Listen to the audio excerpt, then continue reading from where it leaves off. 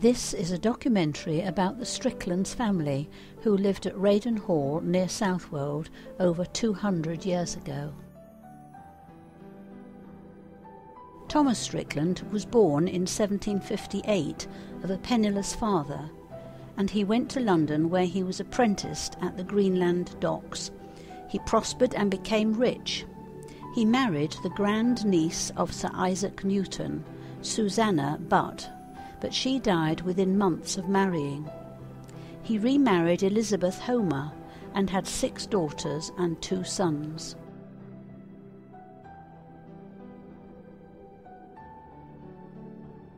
To better his social position, he moved to the Waveney Valley in 1803, where the nouveau rich were buying up estates and manor houses. He rented Stow House, a very old farm with a later Georgian facade.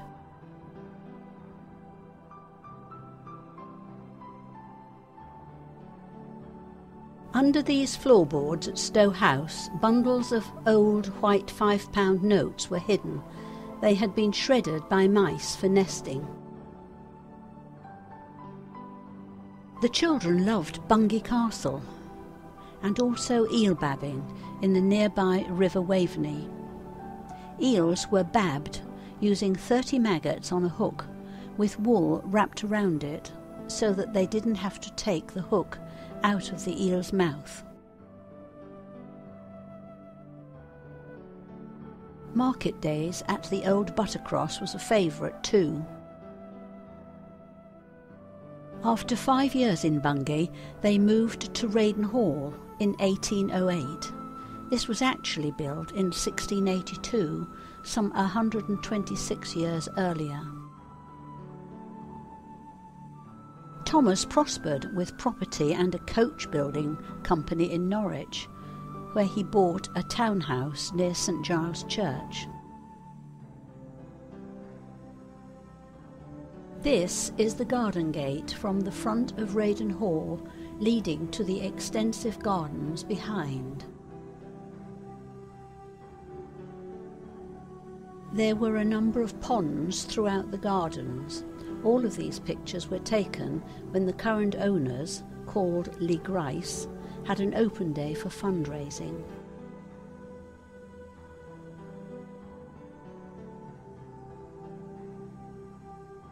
They had an idyllic childhood for 10 years, but which came to a halt in 1818. War with France ended with the victory at Waterloo in 1815, but after the Napoleonic Wars, Britain went into depression and Thomas became bankrupt. He died aged 60 in 1818. Just imagine them walking around these lovely grounds in their long skirts and bonnets.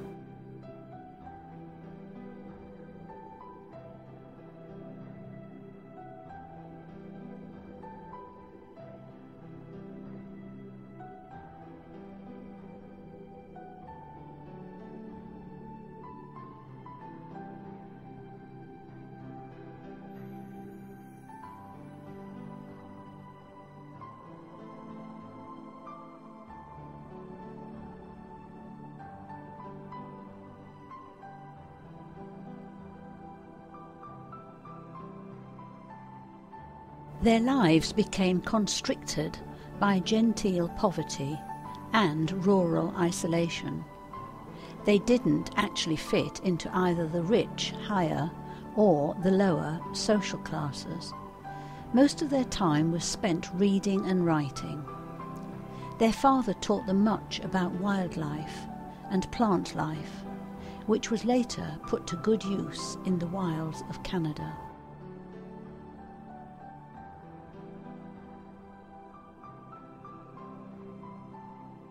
The servants and staff living in these quarters, together with the kitchen gardens, were dismissed along with their pony and trap.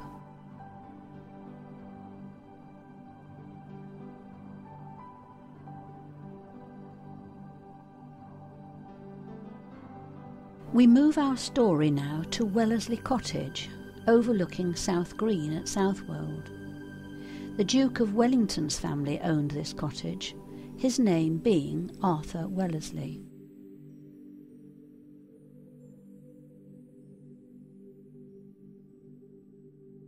He returned from the Peninsular Wars in Africa after conquering Napoleon. Two officers, who were mutual friends from Scotland, returned here too. They met and married the younger Strickland sisters, Catherine Parr and Susanna. The soldiers were retired on half pay and given a package of land each in Canada.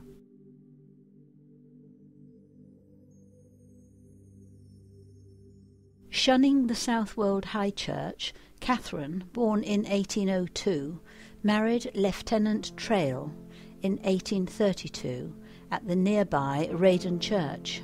This was much to the dismay of her mother Elizabeth.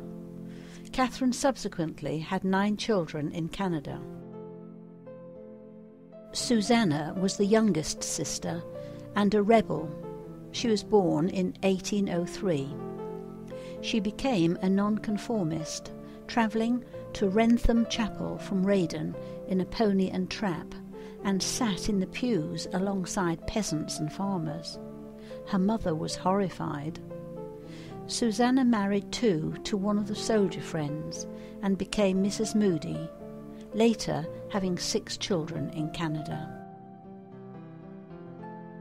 Susanna, her husband, Captain John Moodie, a young baby, Kate, who was three months old, and nursemaid rowed from Southwold Beach to board a London paddle steamer and sailed up the east coast to Leith in Scotland.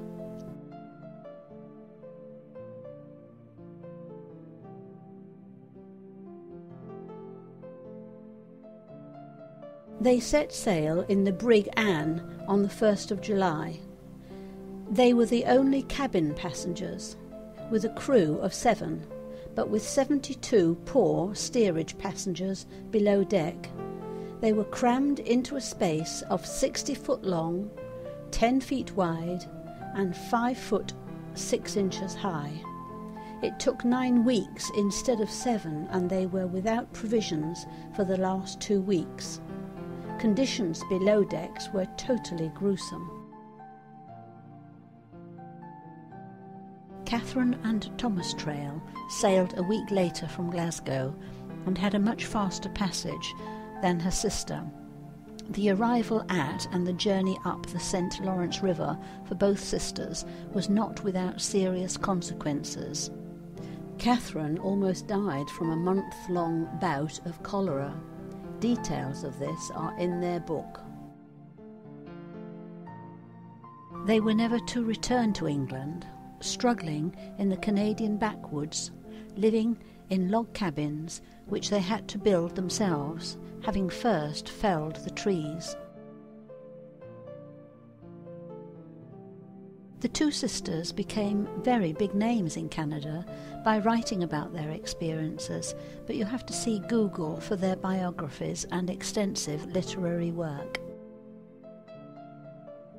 Agnes Strickland remained in England and became famous by writing about the lives of 31 British queens, even staying at Althorpe Hall. This is her house in Park Lane in Southwold. Agnes is buried in Southwold Church next to her sisters and brothers.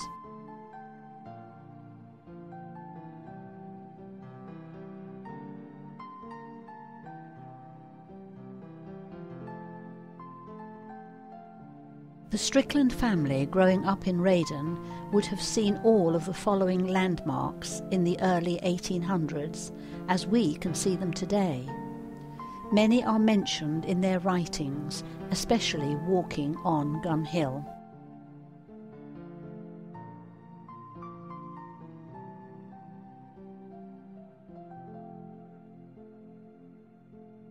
The very old building, Sutherland House, a restaurant in Southwold High Street, displayed this ornate plaque on the outside wall. which the Stricklands would have read in their day too.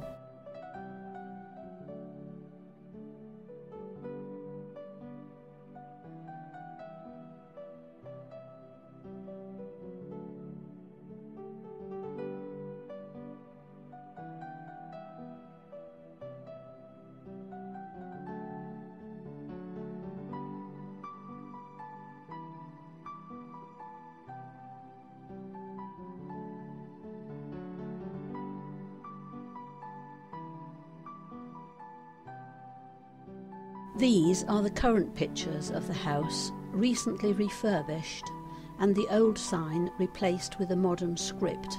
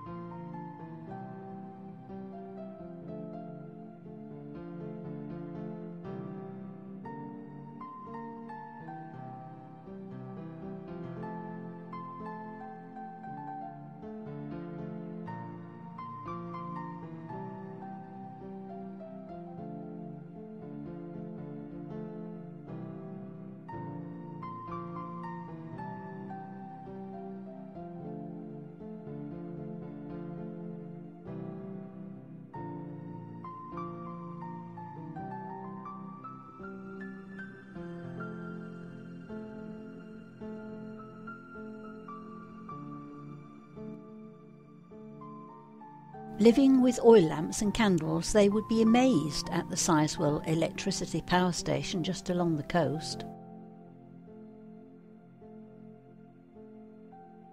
The ferry was certainly there in those days. Would they have been shocked at the girl rowing the ferry, with arms bare and her hair hanging loose from her boy's cap?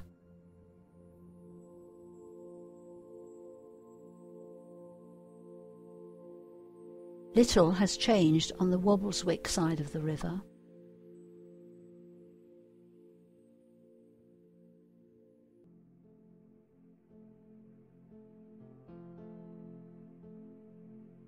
What would they have made of the holiday makers' clothes today or the health and safety warnings?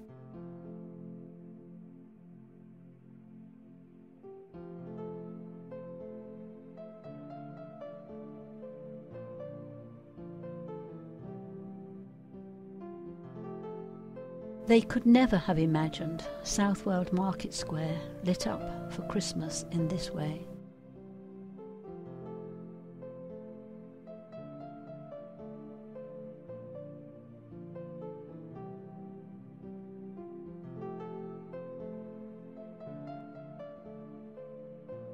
nor the Beccles Church. With time to reflect, that when our life has ended, the legacy of what we leave behind is surely what matters. Their England in the 1800s, their values, customs, appearances, and community are so different from those of today, and yet so much of their influence is left behind from their time on this earth. If only they could have known how much richness they would leave, not only in this small part of England, but in Canada too. Susanna died in 1885, aged 82 years. Catherine died in 1899, aged 97 years.